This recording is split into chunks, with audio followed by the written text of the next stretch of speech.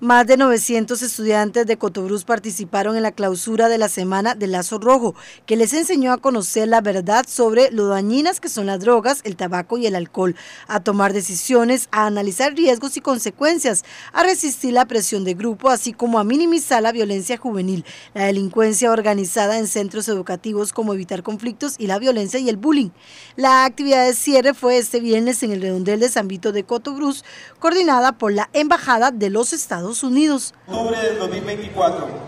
Nosotros, los aquí firmantes, en representación de las personas estudiantes de los centros educativos del Cantón de Cotobruz, nos comprometemos a fortalecer nuestras habilidades, tomar las mejores decisiones para tener un futuro donde las drogas y la violencia no sean parte de nuestras vidas. Agradecemos las acciones y actividades realizadas por la Dirección de Programas policiales preventivas, Dirección Regional Brunca Sur, Delegación Policial de Cotobruz, Dirección Regional de Educación Coto, Municipalidad de Cotobruz, Embajada de los Estados Unidos, así como las instituciones y organizaciones públicas y privadas que participan en este proyecto.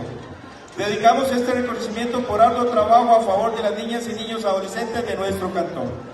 Y en estos momentos vamos a dar el reconocimiento al joven Kenneth Morales Santos, quien fue el ganador del logo de El Lazo Rojo Cotobruz 2024.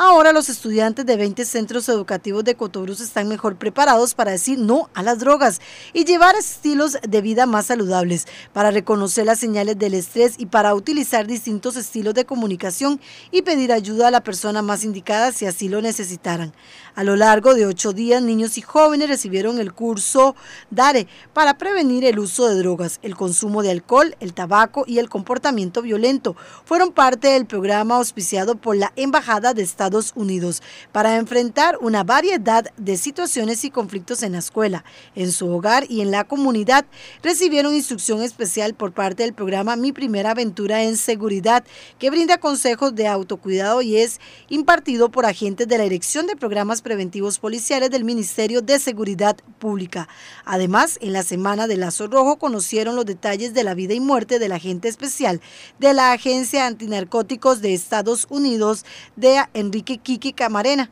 quien falleciera a manos del narcotraficante mexicano Rafael Caro Quintero en febrero de 1985. Meses después, Caro Quintero fue detenido en Costa Rica. Los centros educativos que participaron en esta actividad son el Colegio Nocturno de San Vito, Liceo Ítalo Costarricense, Escuela La Isla, Colegio Técnico Profesional Zabalito, Escuela José Gonzalo Acuña, Escuela San Marcos de Zabalito, Escuela La Primavera, Escuela Federico Gutiérrez, Escuela Líder Coopa Buena, Liceo Experimental Bilingüe de Aguabuena, Escuela Santa Rita, Escuela La Unión, Liceo Sabanillas, Colegio Técnico Profesional Henry Francois Peter, Colegio Académico República de Italia, Escuela Santa Elena, Escuela Filatigre, Escuela Novegue, Escuela Quiado y el Colegio La Casona. En 1988, una resolución del Congreso de Estados Unidos y una proclama presidencial establecieron la Semana Nacional del Lazo Rojo en Estados Unidos como un reconocimiento al sacrificio de Kiki.